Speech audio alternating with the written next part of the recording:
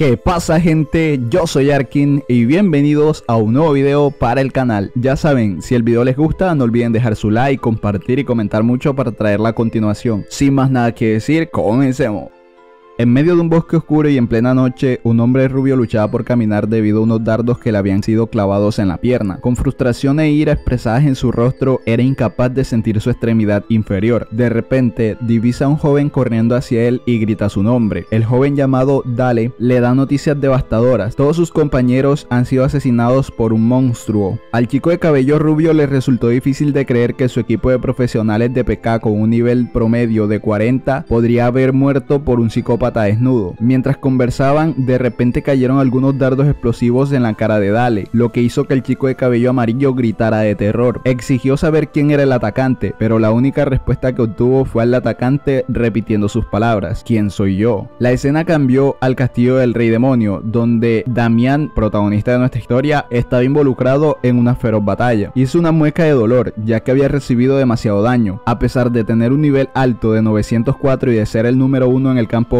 se encontró luchando por mantenerse con vida. De repente escuchó una ráfaga de notificaciones una tras otra, anunciando estados anormales que afectaban a su personaje. El dios de la batalla Damián apretó los dientes mientras leía cada notificación y se dio cuenta de que su personaje había caído en un estado de debilidad, sangrado y sellado, lo que significaba que no podía usar ninguna habilidad. Podía sentir la creciente frustración y desesperación acumulándose dentro de él. Mientras intentaba mantener con vida a su personaje, llegó otra notificación informándole que su personaje había caído en un estado de petrificación, lo que provocó que se moviera a un ritmo más lento. Damián se preguntó si siempre habían tantos estados anormales en el juego mientras trataba de salir de esa situación. Mientras luchaba por aguantar, pensó para sí mismo que ni siquiera Sir Magnus o el inmortal del alto cielo podrían curarlo en este punto. De repente escuchó una voz burlándose de él por seguir aguantando y comparándolo con una cucaracha. La voz pertenecía a Arturo, el líder de la expedición del rey demonio. Damián reconoció la voz y gritó el nombre de Jun, pero antes de que pudiera terminar la oración, Arthur lo atacó con su bastón. Damián escuchó una advertencia de que su resistencia había caído por debajo del umbral y que podría desconectarse. Confundido y debilitado, Damián preguntó por qué Arturo lo había atacado. Sin embargo, Arturo parecía estar distraído por algunas notificaciones que recibió sobre el Señor del Abismo, aumentando su maná e intentando regenerarse. Frustrado porque la pelea se interrumpió, Arturo murmuró para sí mismo que se estaba poniendo bastante divertido. Cuando Arturo lanzó otro hechizo, apareció una notificación que advertía de la del hechizo definitivo, la destrucción del reino, la inversión del clima de niveles múltiples. Damián no pudo evitar sentirse impresionado a pesar del peligro en el que se encontraba. Después de lanzarle ese hechizo al rey del abismo, Arturo atacó a Damián una vez más, burlándose él por su condición de perdedor y de clase baja que de alguna manera se había convertido en un héroe. El prota, ahora maltratado y magullado, no pudo evitar preguntarse dónde habían salido mal las cosas. Hace 10 años se lanzó el juego de realidad virtual Crónica de Arcia, o AC, que contaba con gráficos impresionantes y NPCs animados que captaron la atención de los jugadores. La atracción principal del juego, Incursión del Rey Demonio, ofrecía al primer jugador en completar la misión la oportunidad de establecer un reino, convirtiéndose en el héroe del mundo AC y ganar un trofeo enorme. Damián fue uno de los muchos jugadores que dedicaron su vida a AC, invirtiendo todo su tiempo y energía en el juego durante décadas. A pesar de los intentos de su familia de desanimarlo, Damián se negó a escuchar, convencido de que ganar la recompensa del juego era la única forma de compensar su vida arruinada. Fue durante la incursión del rey demonio cuando Damián conoció al rey Arturo, también conocido en la vida real como Yun, un sirviente de la diosa Aria que poseía el círculo infinito, cosa que le otorgaba maná infinito. Con su cálida personalidad y carisma, el rey Arturo lideró la expedición que les permitió llegar al castillo del rey demonio. Los pensamientos internos de Damián se aceleraron cuando se dio cuenta de que solo quedaba un poco más para completar la redada. De repente, el rey Arturo habló, reconociendo la importancia de la contribución de Damián a su victoria. Sin embargo, la confianza de Damián se vio sacudida cuando le preguntó al rey Arturo si había estado planeando traicionarlo desde el principio. Arturo se ríe entre dientes ante la pregunta, pero su risa rápidamente se convirtió en una agresión violenta cuando comenzó a golpear a Damián nuevamente, llamándolo pedazo de mierda y parásito inútil. Damián estaba conmocionado y asustado al pensar en la posibilidad de morir sin lograr nada, todo por culpa de un traidor como el rey Arturo. Pero entonces una voz le habló, ofreciéndole la oportunidad de vengarse y un nuevo propósito propósito. Abraxas, el señor del abismo, se ofreció a ayudar a Damián y a cambio le pidió que matara a la diosa de la luz, Aria, y se convirtiera en el vengador del caos. Damián dudó mucho al principio, pero la idea de finalmente lograr algo después de todos sus años de dedicación era demasiado tentadora para resistirse. Mientras el rey Arturo continuaba burlándose de él y golpeándolo, Damián tomó su decisión. Aceptaría la oferta de Abraxas y se convertiría en el vengador Damián, quien sería el encargado de traer el caos a la tierra. El brutal ataque del rey Arturo se interrumpió repentinamente cuando Damián se despertó en su propia habitación empapado de sudor. Él estaba desorientado y confundido preguntándose cómo había llegado allí. Mientras trataba de entender lo que estaba pasando, su hermano Jin irrumpió en la habitación y le dijo que era hora de comer. Damián se sorprendió, ya que se suponía que su hermano estaba en el ejército como oficial. Sin embargo, ahora vestía un uniforme escolar y Damián no pudo evitar preguntarse si se había vuelto loco. Miró el calendario y se dio cuenta de que era el 28 de julio del 2020, momento en el que se lanzó la primera beta de Crónicas de Arcia. Damián comenzó a preguntarse si de alguna manera había retrocedido en el tiempo. La confusión y la incertidumbre lo dejaron sintiéndose perdido y desorientado, inseguro de lo que estaba sucediendo o de lo que sucedería a continuación. La madre y el hermano de Damián estaban desconcertados por su extraño comportamiento y se preguntaban por qué estaba actuando de esa manera. Mientras comían juntos, Damián no pudo evitar maravillarse con el delicioso sabor de la cocina de su madre, sintiéndose transportado a su infancia. Sin embargo, sus pensamientos fueron interrumpidos por un comercial en la televisión de Crónica de Arcia, el primer juego de realidad virtual del mundo. Damián se dio cuenta de que hoy era el lanzamiento de la beta abierta del juego. Le dijo a su madre que se iba a su propia casa y ella le recordó que se cuidara y que por favor la llamara a menudo. Damián llamó un taxi y le indicó al conductor que fuera a una estación lo más rápido posible. Los pensamientos de Damián retrocedieron 10 años atrás, a un momento difícil en su vida. Su vida era muy dura. Había asumido la responsabilidad de mantener a su familia en ausencia de su padre, trabajando incansablemente para llegar a fin de mes. El peso de la responsabilidad había sido demasiado para él y había buscado refugio en el mundo virtual del juego, cortando todos los lazos con su familia. Damián perdido en sus pensamientos fue interrumpido repentinamente por una notificación. Era alarmante, ya que le indicaba que la cuenta regresiva había comenzado y que tenía que iniciar sesión en el juego o moriría. Damián estaba confundido porque aún ni siquiera iniciaba sección. Mientras trataba de entender la situación, sintió un dolor agudo en la cabeza y una voz misteriosa comenzó a hablarle. Sin embargo, no podía entender lo que estaba diciendo. En medio de la confusión, el taxista notó el dolor de Damián y le preguntó si estaba bien. Después de algún tiempo, Damián llegó a su destino y visitó una tienda electrónica de realidad virtual llamada Evertail. Fue recibido por una recepcionista que le informó que todas las cápsulas de la tienda se compraron mediante un servicio basado en reservas. La recepcionista le sugirió que se hiciera un examen personalizado, pero Damián insistió en ver un producto que pudiera comprar y que le llegara ese día. La recepcionista lo llevó a un producto relacionado que fue cancelado por otro cliente y que se usó como producto de demostración de la tienda. Damián accedió rápidamente a comprarlo y solicitó la entrega y la instalación esa misma tarde. Más tarde ingresó a la cápsula y fue recibido por la voz del sistema que notificó el progreso del registro del usuario. Escuchó mientras el sistema anunciaba que el modo de realidad virtual había comenzado la sincronización y que su registro de usuario se había completado. Damián reflexionó sobre el hecho de que había usado la mayor parte de su dinero ahorrado para ese momento, pero ahora no podía hacer nada al respecto. Estaba seguro de que había tomado la decisión correcta cuando en eso escuchó la voz del rey demonio Abraxas, lo que le despejó todas las dudas que tenía en su mente. Estaba en el lugar correcto. Cuando el sistema anunció que la sincronización del modo de realidad virtual estaba completa, Damián estaba listo para comenzar su viaje en el juego y con confianza le dio la orden de comenzar. En el departamento ultra secreto de Oracle, en la sede de Vertail, en San Francisco, aparecieron extraños errores en la pantalla. Las notificaciones reportaron un código de error con una advertencia de detección de mainstream y una aceleración del bloque del protocolo principal de Crónica de Arcia. La operadora Chloe llamó urgentemente a una emergencia de código negro e instruyó a todos los empleados para que tomaran medidas. El líder del equipo, el maestro Yeok, se apresuró a ver qué estaba pasando y preguntó cuándo había comenzado el error. Chloe le informó que acaba de comenzar y que el registro acásico del protocolo de bloqueo para la corriente principal se estaba acelerando gradualmente. Si esto continuaba, podrían perder el control de todo. La corriente principal era un territorio desconocido que aún no había sido explorado y el registro acásico era la IA imperativa que había creado AC. El líder del equipo Yeok y los de Oracle lo estaban vigilando actualmente, pero si algo saliera mal podría borrar el sistema y todo el juego. Las notificaciones en la pantalla informaron que el derecho del control sobre la transmisión principal había disminuido al 48%, luego al 36% y finalmente por debajo de un 25%, con una advertencia de que el registro acásico había comenzado a devorar el servidor. El maestro Yeok, al ver esto, decidió ceder el control de la corriente principal rápidamente para evitar perder todo el AC. El registro acásico eliminó su derecho de control, detuvo el protocolo de bloqueo y activó la corriente principal. Geo confirmó que todo estaba por comenzar. Damián ingresó al juego y recibió una notificación que indicaban su conexión al juego, su nombre de jugador, la fecha de conexión y la ubicación actual que era la isla de los susurros. Recordó sus 10 años de juego y su deseo de venganza contra Jun por las humillaciones que había sufrido. Damián se dio cuenta de que no estaba comenzando en la aldea principal como debería y se preguntó dónde estaba. De repente recibió una notificación que se había confirmado su registro de conexión y se había iniciado una cuenta regresiva, lo que indicaba que la prueba había comenzado. Las notificaciones establecían tres condiciones. La condición número uno era que si no iniciaba sesión en el juego dentro de las 168 horas, moriría. La condición 2 era que si su personaje moría en el juego, él también moriría. La condición 3 era que si su personaje no completaba un objetivo en un tiempo determinado, también moriría. Damián estaba conmocionado y confundido por lo que estaba sucediendo y volvió a sentir dolor de cabeza. Damián exclamó con frustración y confusión al recibir la notificación sobre la eliminación de su límite sensorial y la renovación de su objeto final como el descenso del rey demonio, con un tiempo restante de 87.599 horas, 59 minutos y 59 segundos. También se preguntó qué le había hecho el juego a su cuerpo. Luego recibió otra notificación que le indicaba que se le daría una clase en función del objetivo final, especialmente la clase médico brujo o chamán. Damián se sorprendió por esta nueva información y maldijo al juego con incredulidad. Los médicos brujos eran seres que usaban poderes primitivos y estaban estrechamente relacionados con la muerte, la hechicería antigua y las maldiciones. Las identidades de ellos estaban envueltas en misterio y creían que la muerte era la salvación. Damián se sorprendió al descubrir que su personaje en el juego ahora era un médico brujo de nivel 1 con estadísticas terribles. Estaba decepcionado de su nueva clase y del hecho de que era una clase oculta, lo que significaba que era difícil de obtener y poco conocida. La notificación también proporcionó una descripción de la clase médico brujo, revelando que se especializaba en hechizos relacionados con venenos, maldiciones, convocatorias, huesos, sangre, cadáveres y almas. La clase era conocida por causar daños a lo largo del tiempo, lo que la convertía en una clase de daño de tipo de salida. Damián estaba frustrado con su nueva clase, particularmente porque el veneno era un ataque especial de su clase. De repente aparecieron notificaciones en la pantalla del prota advirtiéndole que había cometido un delito y que su alineación era extraordinariamente baja y que le habían impuesto una sanción que el prota encontró difícil de comprender. ¿Cómo era posible tener una alineación tan baja? Solo eso se podría conseguir matando alrededor de mil millones de personas. ¿Tenía algún sentido esto? Se preguntó. La penalización fue severa, con una disminución del 500% en los puntos de experiencia al morir, un aumento del 500% en la probabilidad de dejar caer un objeto al morir, un aumento de 500% en la probabilidad de que el equipo sea destruido al morir, la anulación del escudo en la zona segura y el riesgo de ser atacados por NPCs. Se dio cuenta de que con una penalización como esta lo tratarían como si fuera el rey demonio. Damián llegó a la aldea de Dumbaten y se dirigió rápidamente a la casa del jefe de la aldea para realizar una misión. Sin embargo, llevaba una bolsa de papel sobre la cabeza que llamó la atención del jefe de la aldea. Cuando el viejo le preguntó por qué llevaba esa bolsa en la cabeza, Damián respondió torpemente que era para verse genial, pero sabía que tenía que usarla debido a la búsqueda obligatoria. El jefe de la aldea le dio rápidamente una misión a Damián, indicándole que capturara a 10 polluelos de la isla de los susurros. El problema era que los polluelos se habían comido todo el alimento y no dejaron nada en los almacenes. Damián escuchó atentamente y aceptó la misión. Luego se abrió paso a través de las montañas del pueblo de Dubantén, vio un pequeño pollito parado solo y no pudo resistir la oportunidad de atraparlo. Lanzó un dardo y capturó con éxito al polluelo, pero mientras jadeaba se dio cuenta de que solo le quedaba un punto de vida. Recibió una notificación que le recordaba su búsqueda para atrapar los pollitos y proteger los almacenes de la isla de los susurros. La misión del tutorial requería que atrapara 10 pollitos y que recuperara 10 plumas amarillas, y su progreso era del 10% con un solo pollito capturado hasta ahora. La recompensa por completar la misión era el conjunto para principiantes y la recomendación del viejo de la aldea. Damián verificó el estado de sus habilidades y vio que solo una estaba desbloqueada, disparo de agujas venenosas. El resto todavía estaban bloqueadas, lo que hacía que la búsqueda fuera aún más desafiante. Mientras Damián continuaba cazando polluelos, se volvía más hábil y eficiente con su única habilidad desbloqueada. Se las arregló para atrapar varios más y ganó más puntos de experiencia en el camino. Mientras tanto, en el edificio del grupo Yosin, Jun, también conocido como Arturo, acababa de salir de una cápsula de realidad virtual. Había estado probando un nuevo juego y estaba satisfecho con la experiencia hasta el momento. Su secretaria lo actualizó sobre la popularidad del juego y Jun confiaba en que sería un éxito. Su teléfono sonó y habló con el director del grupo Yosin, quien había preparado todo lo que necesitaba para sobresalir en el juego, incluida la mejor clase para él, el método de nivelación más rápido y todo el equipo necesario. Jun emocionado por dominar el juego, colgó el teléfono y pensó para sí mismo que lo esperaba con ansias. Damián acababa de completar su misión de atrapar 10 polluelos en la isla de los susurros y respiraba con dificultad por el esfuerzo, pero su agotamiento pronto fue reemplazado por emoción cuando recibió una notificación de que había subido de nivel. Exclamó con alegría, pero cuando miró su pantalla de estado quedó asombrado por lo que vio. Su nombre figuraba como Damián y su clase era médico brujo. Sus estadísticas mostraban una fuerza, agilidad, inteligencia, talento y suerte de solo uno, pero le quedaban 5 puntos de estadísticas. Damián no podía creer que había ganado 5 puntos de estadísticas en lugar de los dos habituales y se preguntó si era porque tenía una clase oculta. Se dio cuenta de que las cosas no podrían ser tan malas como pensaba y decidió destrozar a Jun en pedazos. Damián corrió por el pueblo con una bolsa de papel en la mano mientras un grupo de gallinas corrían tras de él. Los otros jugadores se sorprendieron al ver esta escena y comenzaron a especular sobre la identidad y las intenciones de Damián. Algunos de ellos se preguntaron si era un domador, pero otros señalaron que los domadores solo criaban un familiar fuerte. Un jugador incluso predijo que Damián moriría pronto debido a su comportamiento imprudente, pero Damián estaba concentrado en su búsqueda para reunir tantos polluelos como fuera posible y rápidamente disparó un dardo a una de las gallinas matándola de un solo tiro. Se preguntó si había ido demasiado lejos, pero sabía que necesitaba reunir una multitud de pollos para completar la búsqueda que le había dado el viejo. Mientras corría, Damián buscó algo en el pueblo y cuando las gallinas se volvieron demasiado agresivas mostró una sonrisa maliciosa. Había tendido una trampa y todas las gallinas cayeron al pozo y se preparó para convertir a los polluelos en experiencia. Luego le apareció una notificación en la que vio que había vencido a la gallina y al gallo y había llegado al nivel 9. Damián recibió otra notificación en su pantalla de que alguien le estaba robando sus objetivos. Rápidamente se dio cuenta de que en un bosque cercano algunos jugadores estaban cazando las gallinas que él había preparado para su búsqueda. Mientras tanto, los jugadores disfrutaban de los puntos de experiencia fáciles que ganaban al matar los objetivos de Damián. Mientras los jugadores celebraban su progreso, Damián se acercó a ellos y les preguntó si lo estaban disfrutando. De repente lanzó un puñetazo directo a la cara de un jugador llamado Cheolmin, enviándolo por los aires y aterrizando a poca distancia. Cheolmin recibió varias notificaciones en su pantalla, incluida una notificación de efecto de estado que indicaba que su personaje se había desmayado y no podía controlarlo durante los siguientes 5 segundos. Damián acusó a los oponentes de comerse sus cosas y les exigió que las escupieran mientras los señalaba. Los oponentes se sorprendieron y pidieron pruebas, pero Damián señaló a las gallinas muertas tiradas por ahí y los acusó de mentir. Les advirtió que era su última oportunidad y les pidió que se fueran después de escupir lo que habían comido. Uno de los oponentes noqueados se levantó y atacó a Damián, llamándolo hijo de puta. Damián respondió advirtiéndole y golpeándolo con un soplador de dardos. Los oponentes se indignaron por las acciones de Damián y lo atacaron juntos. Sin embargo, Damián logró esquivar todos sus ataques y golpear a cada uno de ellos con un soplador de dardos repitiéndole su demanda de que escupieran lo que se habían comido. Después de ser golpeados, los oponentes cuestionaron el comportamiento de Damián, pero luego recibieron una notificación de que el miembro de su grupo, Don Cheon, había muerto. Uno de ellos supuso que Damián era un usuario caótico. Los usuarios caóticos eran conocidos por especializarse en matar jugadores y eran equivalentes a criminales en un juego. Al escuchar esto, todos comenzaron a correr, pero Damián no iba a dejarlos escapar. Les lanzó dardos y recibieron una notificación de que sus personajes habían sido envenenados. Después de que todos cayeron, Damián se dio cuenta de que faltaba uno y se preguntó en voz alta dónde se escondía el último. El tipo desaparecido se había escondido en un arbusto murmurando maldiciones en voz baja. Intentó cerrar la sesión, pero apareció una notificación que decía que no se podía cerrar la sesión durante una batalla activa y que aún quedaban 300 segundos hasta que el cierre de sesión estuviera disponible. Culpó a su mala suerte por encontrarse con un usuario caótico, pero Damián lo encontró y lo saludó antes de lanzarle un dado que acabaría con él. Damián estaba eufórico al ver las notificaciones de que había adquirido plumas amarillas y blancas, pociones básicas de HP y había alcanzado el nivel 10. Estaba particularmente emocionado de poder usar las habilidades de nivel 10 que antes estaban bloqueadas. Esto produjo mejores resultados de lo que él había pensado inicialmente. Sin embargo, su entusiasmo duró poco cuando apareció otro aluvión de notificaciones. Había cometido PK y su alineación había disminuido en 1. Su alineación o reputación actual ya eran demasiado bajas, por lo que no podría disminuir más. Damián al ver esto comentó que al parecer ya había tocado fondo. Se rió entre dientes mientras leía los efectos del título Atrocidad, que incluía el aumento de la tasa de caída de objetos y oros de las víctimas de PK, así como la posesión automática de activos y experiencias de la víctima de PK. En este punto consideró que eso era trampa, pero estaba satisfecho con el resultado. Esperaba subir de nivel desde ese punto en adelante. Damián se había estado concentrando en subir de nivel últimamente y mejor decidió visitar el supermercado para abastecerse de alimentos. Al entrar a la tienda reconoció al cajero como alguien de su barrio e intercambiaron saludos. Damián comenzó a cargar su carrito con alimentos precocinados, pero el cajero expresó su preocupación por la cantidad de alimentos procesados que estaba comprando.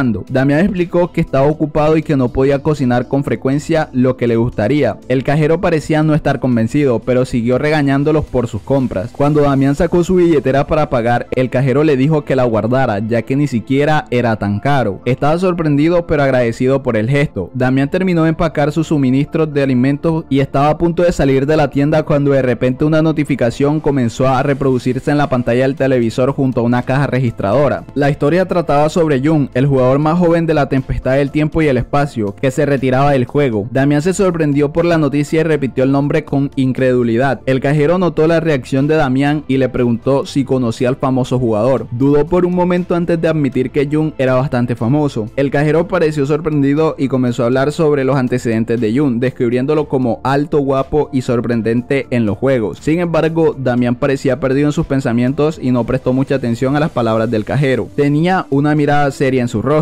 En un bosque denso cerca a la aldea de Dumbanten, Damián cazó algunas gallinas mientras pensaba en la inminente llegada de Jung. De repente recibió una notificación que le decía que había subido de nivel y había alcanzado el nivel 15, pero Damián no estaba contento porque se había dado cuenta que necesitaba volverse mucho más fuerte de lo que era ahora y no podía darse el lujo de andar de holgazán. Murmuró para sí mismo que estaba en algún lugar por allí y abrió una misión titulada El depredador de la isla de los susurros, que se clasificó como una misión épica. La búsqueda requería que derrotara al jabalí mutado y que recuperara su piel. El progreso de la misión fue de 0% y la recompensa por completar la misión era la recomendación de el viejito. Damián sabía que esta misión era la última en esa isla y si la completaba podría ir a otro lugar con la recomendación de El More. Sin embargo, los jabalíes solían migrar con frecuencia, lo que dificultaba su localización. Si Damián no encontraba la guarida del jabalí en una hora, tendría que esperar otra hora para que reapareciera. Damián emprendió su búsqueda decidido a completarla y a volverse aún más fuerte. El prota vio fácilmente al jabalí y no podría creer su suerte. El jabalí era una bestia salvaje de élite con un nivel de 30. Damián sabía que debía tener cuidado con eso. Recordó que los tipos de monstruos en el juego se clasificaban como normal, élite, nombrado y campeón, y que los de tipo élite y superior tenían características especiales. Había 8 variaciones en cada una de las tres categorías, ataque, defensa y control de multitudes, haciendo un total de 24 variaciones. Damián decidió atacar el jabalí con su habilidad de elixir de corrupción para intentar descubrir sus características. El elixir golpeó al jabalí y este dejó escapar un fuerte chillido. El jabalí miró a su alrededor tratando de encontrar al atacante, pero Damián estaba escondido en un árbol. Luego saludó al jabalí y este lo atacó. Damián esquivó el ataque del jabalí, evadiendo sin esfuerzo los colmillos mortales de la criatura. Se burló de la bestia haciéndole señas para que se acercara con una sonrisa de confianza en su rostro. Con un movimiento fluido, Damián agarró otro elixir y lo arrojó hacia el jabalí. El elixir encontró su objetivo, golpeando a la criatura con una precisión milimétrica. El jabalí soltó otro chillido agonizante cuando el elixir hizo efecto. Damián observó al jabalí de cerca y concluyó que ese no tenía inmunidad física. Luego comenzó a atacarlo sin descanso para estudiar su comportamiento. Luego de varios intentos observó que el jabalí no invocaba monstruos, no tenía inmunidad mágica y carecía de una barrera defensiva. Le complació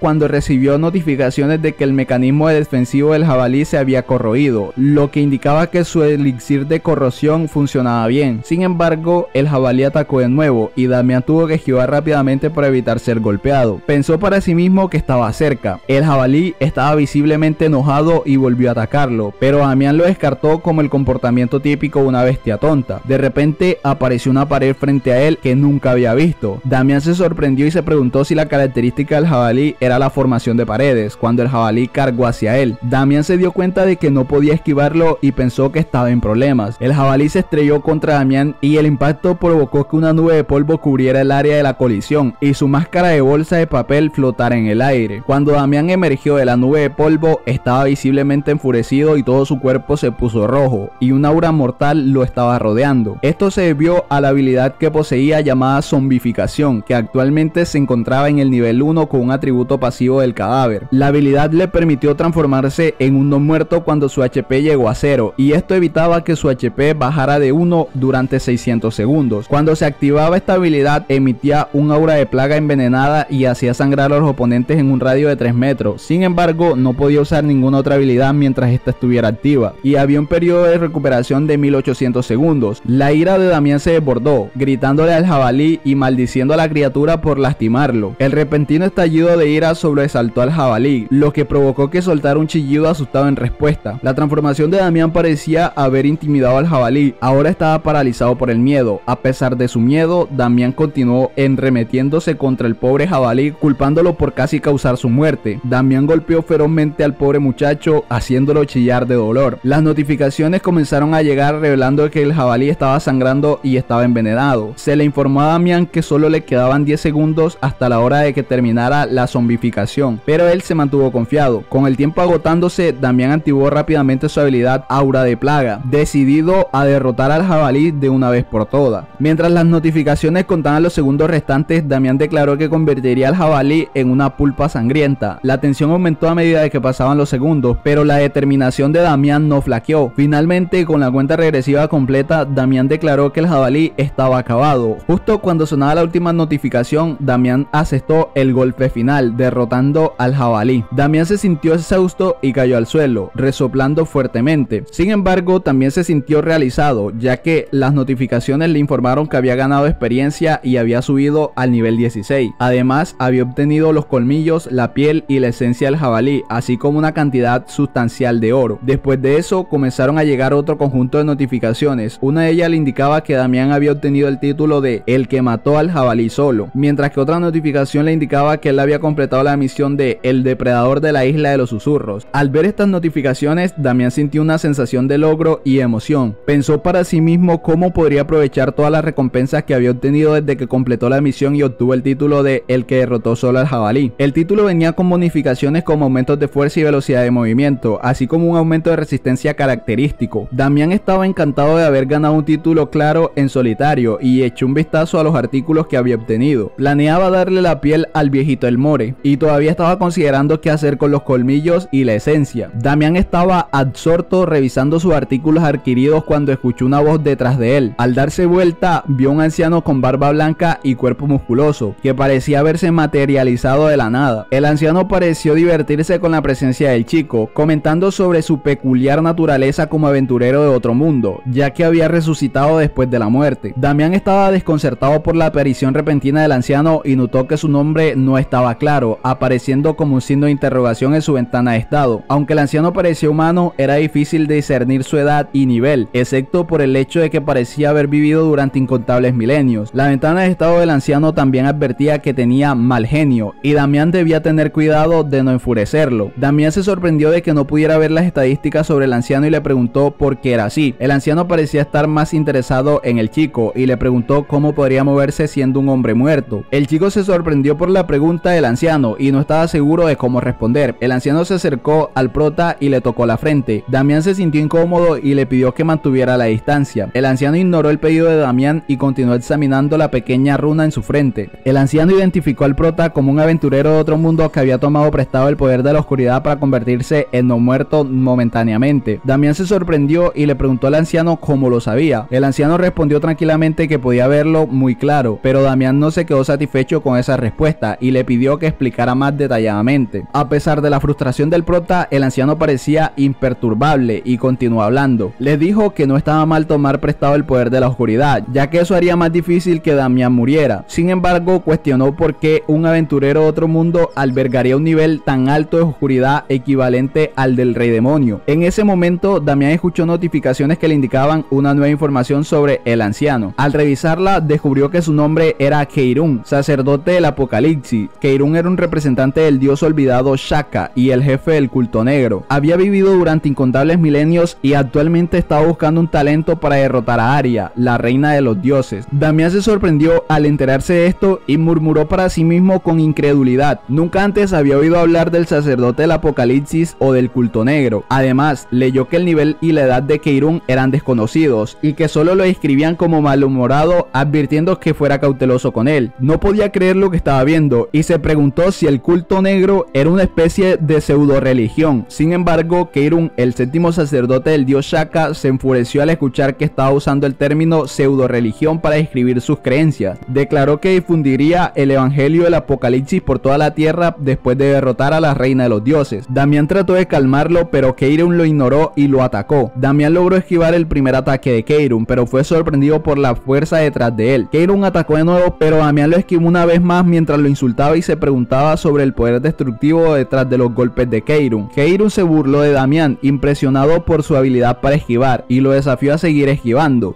Damián respiró hondo y trató de calmar sus nervios. Sabía que tenía que enfrentarse a Keirun y sobrevivir a esta prueba. A pesar de que Keirun parecía estar al borde de la senilidad y sus acciones eran claramente las de una persona seriamente loca, Damián se preguntó si podría hacer algo en esa situación. Mientras estaba perdido en sus pensamientos, recibió una notificación de que Keirun estaba mostrando hostilidad hacia él. Levantó la vista y vio al anciano mirando con ojos salvajes. Damián se preparó para la pelea y se preguntó cómo podría derrotar a ese viejo loco. Pero antes de que pudiera dar un paso adelante, recibió otra notificación. Una misión que decía que debía sobrevivir a la prueba de Keirun para progresar. Pero lo que sorprendió aún más a Damián fue que se trataba de una búsqueda convencional. Se quedó quieto, perdido en sus pensamientos sobre la importancia de las misiones principales. Solo se le otorgaban a unos pocos usuarios seleccionados y podrían decidir el futuro del juego. El impacto de las acciones del usuario en el mundo de AC fue inmenso y potencialmente podría cambiarlo por completo. Mientras reflexionaba sobre esto, no puede evitar preguntarse qué tenía que ver el anciano con las misiones principales. Antes de que pudiera terminar sus pensamientos, Keirun lo interrumpió y lo atacó con un comentario agudo, exigiéndole saber por qué estaba parado allí como un tronco tonto. Damián rápidamente esquivó el ataque, pero no pudo evitar pensar en el anciano y sus posibles conexiones con las misiones principales. Los recuerdos de su propia experiencia como el dios de la batalla inundaron su mente, particularmente el momento en el que se le encomendó la tarea de derrotar a Abrax junto a los seis maestros superiores en la traicionera mazmorra de Abyss. Sabía que el éxito o el fracaso de estas misiones podría tener un impacto masivo en el mundo AC y estaba decidido a completarla sin importar nada. De repente, Keirun atrapó a Damian con la guardia baja una vez más, atacándolo mientras lo regañaba por dudar. Damian sentía que tenía que actuar con rapidez, por lo que cantó un mantra y activó una habilidad llamada Impulso Sangriento. Decidió dejar de pensar demasiado y en su lugar enfrentarse a Keirun dejándose llevar por sus instintos básicos. Damian se preparó para la próxima batalla, sabiendo que no podía permitirse el lujo de perder. Estaba decidido a tener éxito en la búsqueda principal sin importar el costo. Los ojos de Keirun brillaron con furia mientras cargaba contra Damián. Su puño se embulló con un poderoso puñetazo. El impacto fue devastador. El suelo tembló violentamente y la fuerza del golpe envió ondas de choque por el aire. El poderoso puñetazo de Keiru causó una explosión. Cuando el pozo se asentó, le gritó frustrado a Damián preguntándole cuánto tiempo planeaba seguir huyendo. Damián había activado su habilidad de zombificación y logró sobrevivir al ataque de Keiru. A pesar de que Keiru no había terminado, comenzó a atacarlo de nuevo. Mientras esquivaba el ataque de Keirun, Damián se preguntó por qué era tan fuerte a pesar de no ser un artista marcial. Enfurecido por la habilidad de Damián para esquivar sus ataques, Keirun le gritó que se quedara quieto. A pesar de los gritos de enojo de Keirun, Damián siguió esquivando y notó que podía ver los movimientos de Keirun mejor que antes. A medida que se alejaba de Keirun, Damián pensó que podía ganar tiempo, podría sobrevivir a la pelea. Sin embargo, sus pensamientos fueron interrumpidos cuando vio a Keirun acumulando energía entre sus manos. Para sorpresa de Damián, Keirun preparó un gran Kameha y se burló de él preguntándole si acaso podría también esquivar este ataque. Damián conmocionado y desconcertado exclamó incrédulo. Keirun lanzó su ataque gritando ¡Muere! Esta vez Damián no tuvo oportunidad de esquivar y fue golpeado por el ataque. Después de la explosión vemos a Damián de rodillas pero aún vivo. De repente sonó una notificación que le indicaba que solo quedaban dos segundos. Keirun que estaba cerca quedó impresionado por el cuerpo robusto de Damián y lo felicitó por su físico. Damián respondió con un toque de modestia diciendo que no era nada comparado con el de Keirun. Cuando la notificación llegó a un segundo la cuenta regresiva terminó y otra notificación intervino. La zombificación ha terminado. Damián se sintió aliviado después de escapar de este escenario cercano a la muerte, pero la siguiente notificación le trajo buenas noticias. Has completado la misión de prueba de Keirun. Keirun, quien había estado en silencio hasta ese momento, habló con un dejo de sarcasmo y comentó que la boca de Damián todavía funcionaba a pesar de la terrible experiencia por la que acaba de pasar. Damián replicó con una pizca de orgullo diciendo que ahora tenía que vivir la vida al máximo desde que obtuvo esa segunda oportunidad. Keirun luego le preguntó a Damián por el poder de la oscuridad que había notado antes. Él le confirmó que poseía ese poder y preguntó si Keirun lo reconocía. Keirun respondió a la pregunta de Damián con una sonrisa, lo que indicaba que reconoció el poder de la oscuridad de Damián. El prota mencionó que como sacerdote principal del dios Shaka no podía perdérselo. Damián le preguntó a Keiron sobre el séptimo dios Shaka y Keiron respondió elogiándolo como el mejor dios de Arcia. Explicó que Shaka era el señor de la oscuridad y el apocalipsis, incomparable con Aria y que es más grande que todos los otros dioses. Damián estaba un poco confundido pensando que los seis grandes dioses eran la diosa suprema Aria de la luz, el Fénix de fuego, Nisa del agua, Tennessee del árbol, Oriet del hierro y Crow de la tierra. Sin embargo, se dio cuenta de que no había forma de que el sistema mintiera. Damián simplemente asintió y Keiron aprovechó la oportunidad para ir directo al grano. El prota se preparó para escuchar pensando que Keiron finalmente estaba llegando al punto después de causar todo este alboroto. Keiron luego le preguntó al prota si quería volverse más fuerte y mencionó que los aventureros de otro mundo deseaban un rápido crecimiento y fuerza. El prota se sorprendió por la sugerencia, pero antes de que pudiera responder, Keirun sugirió que Damián se convirtiera en su discípulo. Damián se sorprendió por la sugerencia de Keirun y comenzó a alejarse mientras se despedía de él. Esto enojó a Keirun, quien golpeó al prota con la mano, exigiéndole saber a dónde iba. Damián replicó llamando a Keirun anciano senil. Esto solo sirvió para irritar más al pobre Keirun, ya que comenzó a jactarse del poder del señor Chaka y de cómo incluso alguien como Damián podría convertirse en un gobernante absoluto si solo se convertía en discípulo de Keirun. Sin embargo, el prota no estaba convencido por las afirmaciones de Keirun y lo desafió, preguntándole si lo creería si estuviera en la posición de él. El viejo se sorprendió por esto, pero finalmente cedió y mostró un libro a Damián, con la esperanza de convencerlo de que se convirtiera en su discípulo. Mientras Damián examinaba el libro, sonó una notificación que le informaba que la invocación del apocalipsis, el libro del pacto negro, irradiaba luz tenue. El prota estaba desconcertado por esto y mientras miraba el libro apareció otra notificación que decía que su encuentro principal con el séptimo dios se había activado. Keiron luego le explicó al prota que el libro era un objeto divino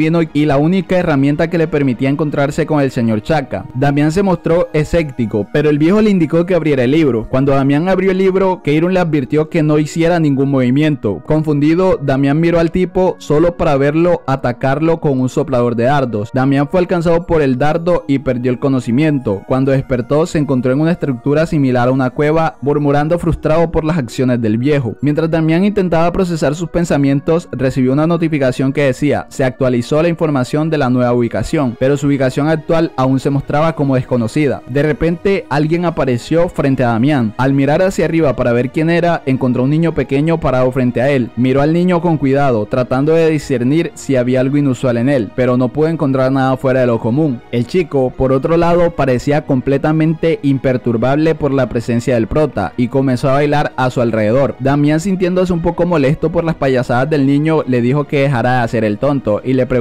dónde estaban. El chico se detuvo y miró al prota cuidadosamente antes de comentar sobre su olor. Damián confundido empezó a leerse a sí mismo antes de que el chico confirmara que le gustaba su olor y le preguntara si podían ser amigos. El prota se sorprendió por la repentina solicitud del niño y no pudo evitar preguntarse qué estaba pasando. El prota le preguntó al niño si él tenía amigos. La respuesta del niño fue de enfado, insistiendo que tenía muchos amigos. Incluso fue tan lejos como para ofrecerle a Damián un amigo propio. Para sorpresa del prota, el niño señaló a un grupo de pollitos que estaban picoteando en el suelo. Pronto comenzaron a rodearlo, jugando y picoteando con entusiasmo. El niño claramente orgulloso de sus amigos emplumados e insistía en que todos eran sus leales compañeros. El prota se conmovió por el amable gesto del niño y aceptó ser su amigo. Se dieron la mano y el chico declaró que ahora eran amigos. Sin embargo, después de que el chico declarara que eran amigos, Damián de repente se sintió mareado y colapsó. Abrió lentamente los ojos y jadeó por aire. Se sintió desorientado y confundido, tratando de reconstruir lo que había sucedido. Keiron le preguntó cómo se sentía, aliviado de ver al prota consciente, pero la frustración y la ira del prota se desbordaron y se abalanzó sobre Keiron atrapándolo por la garganta. Keiron luchó por liberarse, pero el agarre de Damián se apretó alrededor de su cuello. En un momento de desesperación, Keiron le dio un cabezazo al prota en la frente, lo que hizo que tropezara hacia atrás. El prota sintió que el mundo giraba cuando comenzó a caerse hacia atrás. En ese momento escuchó una alerta de notificación efecto de estado. Tu personaje está en estado crítico. Hasta que haya recuperado tu fuerza, tu personaje no podrá moverse. Al darse cuenta de que no era la primera vez que se encontraba en esa situación, pensó, ah mierda, aquí vamos de nuevo. El prota abrió lentamente los ojos y vio a Keirun sentado frente a él una vez más. Hizo una mueca por el dolor en su cabeza y murmuró para sí mismo sobre el cráneo grueso de Keirun. El viejo le preguntó al chico qué había dicho, pero Damián rápidamente restó importancia a sus palabras sabiendo que no podía permitirse enojar más al anciano. El prota pensó para sí mismo que aunque Keirun podría parecer sin hogar y senil, era increíble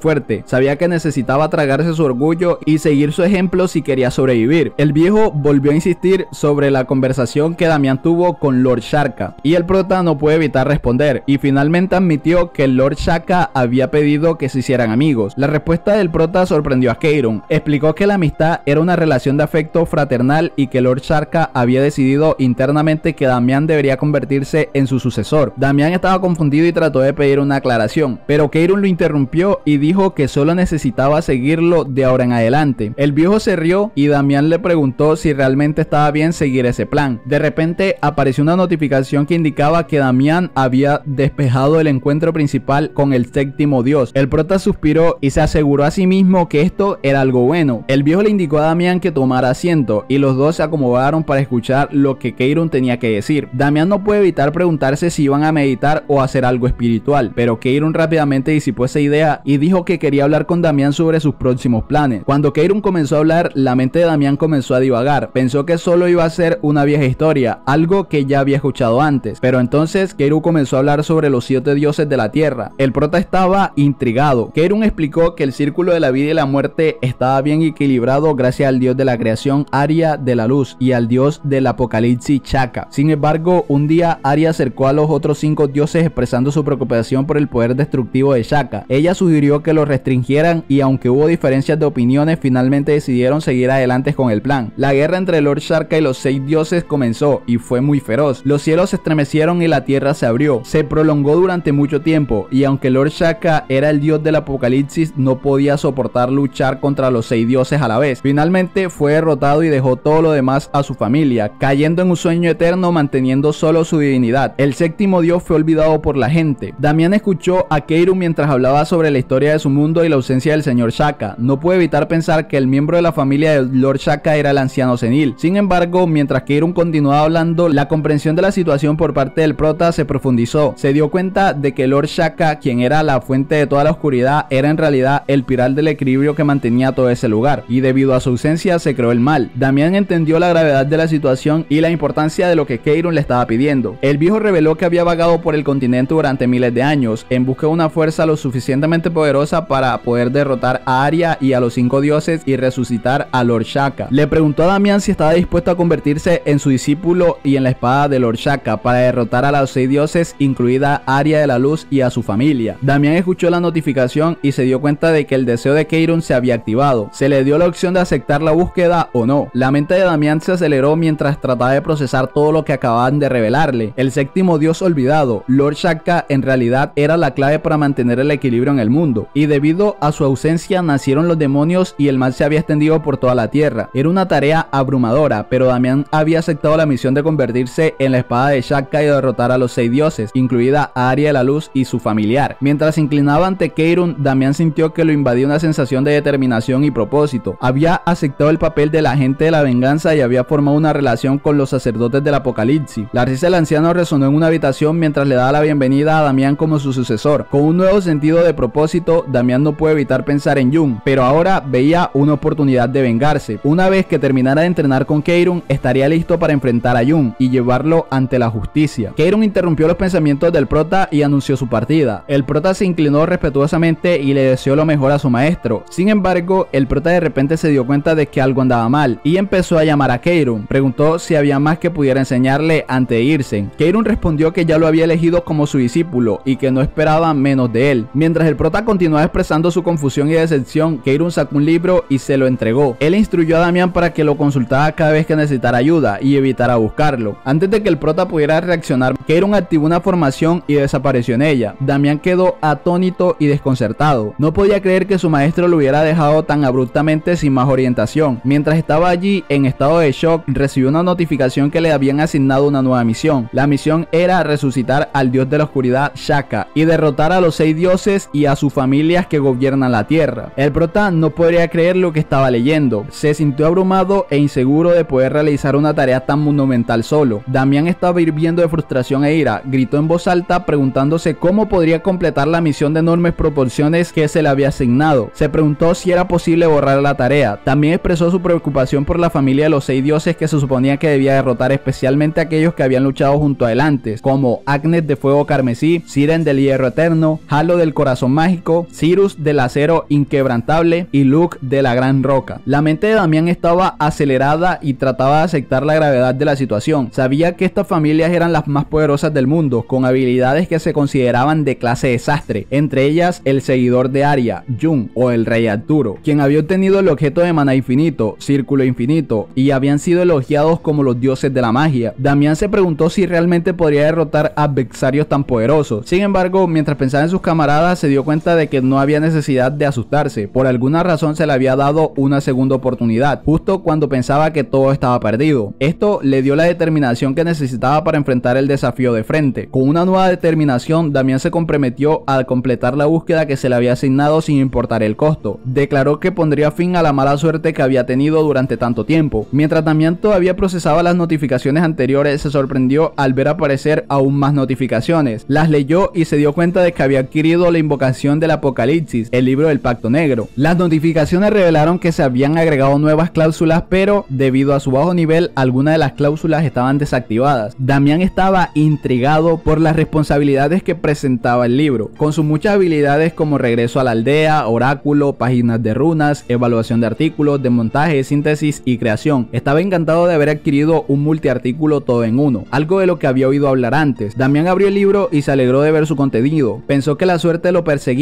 y se sentía imparable. Se preguntó si debía probar la capacidad del libro y decidió comenzar por desarmar un artículo. Seleccionó una cabeza de jabalí como material de elección y comenzó el proceso de desmontaje. Con una mirada concentrada en su rostro, comenzó a sintetizar y crear el artículo. Después de un tiempo, Damián exclamó con entusiasmo que la creación estaba completa. Tras inspeccionar el elemento recién creado, Damián descubrió que era un casco de jabalí salvaje, un casco hecho de la cabeza del jabalí gigante. El casco tenía bonificaciones impresionantes incluyendo un aumento de HP, poder mágico, defensa y todas sus estadísticas, así como un aumento de daño a los monstruos de tipo animal. Pero Damián no se sintió muy feliz con la creación. Damián consideró el valor del artículo en la economía del juego y calculó que valía una cantidad significativa de oro. Sin embargo, Damián también se dio cuenta de que no podía simplemente crear artículos cada vez que tenía poco dinero o correría el riesgo de quedarse en la indigencia. Con esto en mente, decidió darle el cuero al líder de la aldea y priorizar la creación de artículos estratégicamente en el futuro. Damián fue la casa del jefe de la aldea y le dio el cuero. El jefe de la aldea preguntó sorprendido si Damián lo había atrapado él mismo y el tipo le confirmó que sí. El jefe de la aldea quedó impresionado y escribió una carta de recomendación para Damián, aconsejándole que abandonara la isla y se dirigiera al continente principal. El jefe de la aldea también le ordenó a Damián que fuera al puerto extremo de la isla y tomar un bote hacia el continente principal. El prota recibió una notificación de que había adquirido la recomendación y agradecimiento del líder de la aldea por su ayuda. Con un sentido de propósito, Damián salió de la casa del líder y se dirigió hacia el pueblo, listo para emprender su viaje. Damián se tomó un descanso en el puerto, comió pan y comprobó su progreso. Era un médico brujo de nivel 16, sin afiliación y con una alineación negativa. Había ocupado títulos como Atrocidad, el que derrotó al jabalí solo y Agente de Venganza. Sus estadísticas eran impresionantes, con gran inteligencia y talento. Había dominado habilidades como disparar dardos venenosos, impulso de sangre y zombificación. Ya no le quedaban estadísticas ni puntos de habilidad, pero sabía que tenía mucho más por lograr. Después de revisar su estado, Damián pensó en su título de agente de venganza que le indicaba que fue elegido por el séptimo dios y poseía un poder desconocido. El título también le proporcionó bonificaciones significativas durante las batallas PvP, como mayor poder de ataque, defensa, resistencia de atributos y resistencia a anomalías de estado. Sin embargo, el prota dudaba de usar su título en toda potencia, ya que no disfrutaba matando gente. De repente, Damián escuchó un grito doloroso y rápidamente dirigió su atención hacia la fuente. Vio un hombre herido tirado en el suelo, suplicando ayuda, mientras un mago estaba de pie junto a él. El mago parecía estar castigando al hombre por algún tipo de transgresión, y Damián no puede evitar preguntarse si eran magos asesinos. Los magos asesinos eran aquellos que usaban su poder abrumador al comienzo del juego para ir por ahí matando jugadores. El mago asesino continuó hablando con el hombre herido, amenazándolo y exigiéndole el pago. Damián se dio cuenta de que el mago era el líder del grupo, ya que había logrado bloquear el muelle con solo 20 personas. A pesar de la situación, el mago asesino trató de justificar sus acciones, alegando que no eran malas personas. En medio de la multitudinaria audiencia,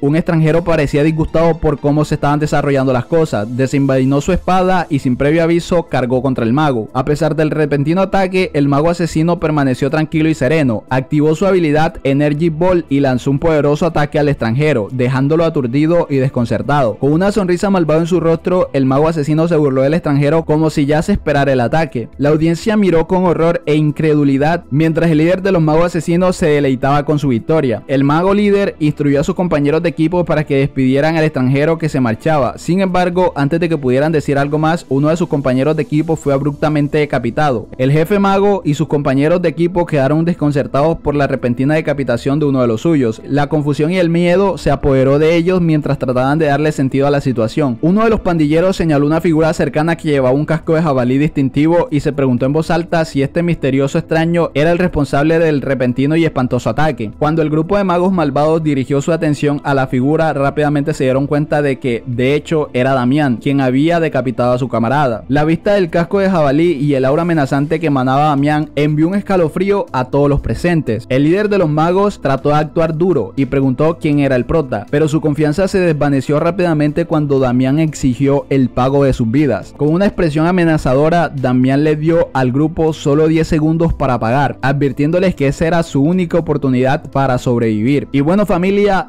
esto sería todo por el día de hoy. Espero el video les haya gustado lo suficiente para que dejen un buen like. También comenten mucho si quieren. Y si pueden también compartan para llegar a más personas. Sin más nada que decir, nos vemos en el próximo video. Fue un placer narrar para ustedes y que tengan un buen y lindo día.